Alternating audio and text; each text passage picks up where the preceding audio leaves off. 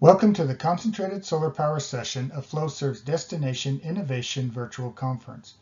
My name is Jeff Parish, and as Flowserve's Molten Salt Control Valve Specialist, I will be your presenter for this session. I will briefly cover an overall goal of the CSP industry, its status and growth, maintenance pain points experienced by system operators, Flowserve's experience in providing solutions to this market, and finally, Flowserve's advances in developing the next generation of molten salt control valve technology and the benefits that technology can offer. Collecting and storing energy from concentrated solar power, or CSP, is a core energy transition technology. The stored heat is used for a range of energy productions during the day as well as at night when collection is not possible. In recent years, the development focus has been on achieving higher operating temperatures and longer storage times to broaden the efficiency and utility of this core concept. The goal for utilizing this carbon-free method of energy storage is to provide the full range of process temperatures required for industry, ranging from cement and glass making to desalination of water and food processing, and everything in between. These target industrial processes include multiple methods for producing hydrogen, capturing CO2 and carbon, and producing the feedstock compounds required to produce sustainable fuels. The CSP industry is growing, nearly doubling in size over the next three years.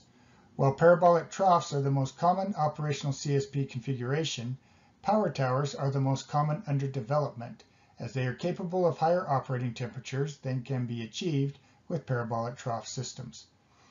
While nitrate salts are used in all current CSP systems, the demand for ever higher operating temperatures and improved efficiency requires the use of chloride salts.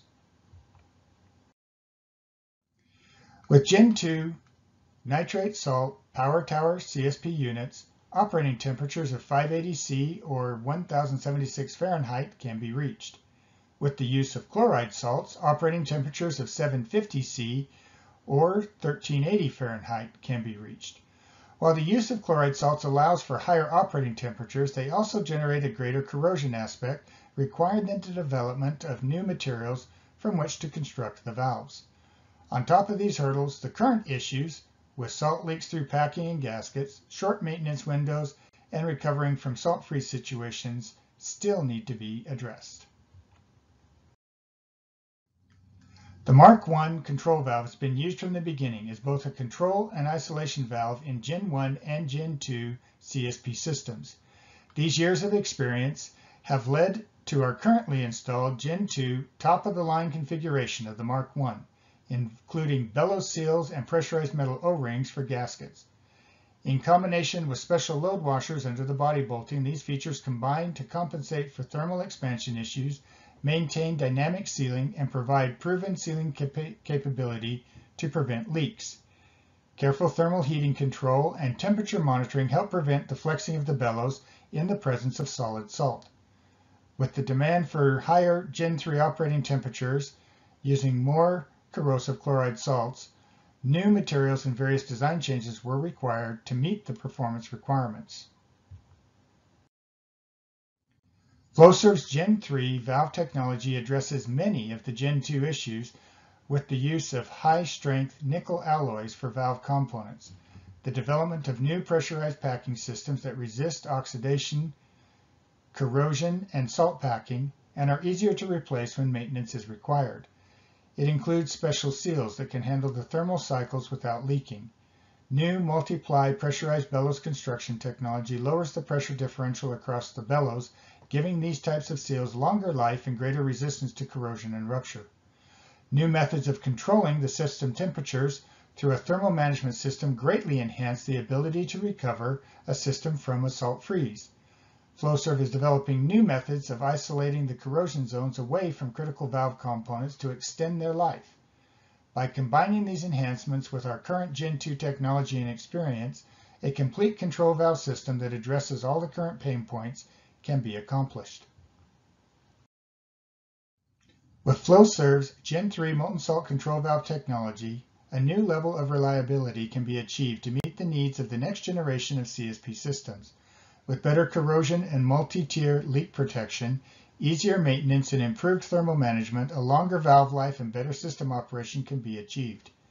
One of the side benefits of this, of this, technology is that it can be applied as a control valve solution to other related energy industries that use high temperature molten salt in their processes, such as molten salt power reactors, hydrogen production, and carbon capture. With so many Gen 2 systems operating and in development, there is the immediate benefit that much of this technology can be applied to those systems and even other types of valves, like isolation and check valves, to improve the operation and reliability for much of the world's existing CSP infrastructure. Looking to the future, Flowserve is involved in at least 16 project-related partnerships to apply our Gen 3 molten salt valve technology to the next generation of CSP, as well as a variety of other energy transition-related industries. These include other types of salt, more efficient heat transfer and storage methods, and low-pressure liquid-fueled Gen 4 reactor systems. The testing equipment developed and used for designing our Gen 3 CSP control valves provides Flowserve with a highly capable 2-inch Class 600 molten salt test loop located in Villach, Austria. These development efforts and partnerships will help maintain Flowserve's position as a leader in molten salt control valves with expansion to on-off and isolation valves, allowing Flowserve to provide equipment solutions to a core piece of energy transition infrastructure.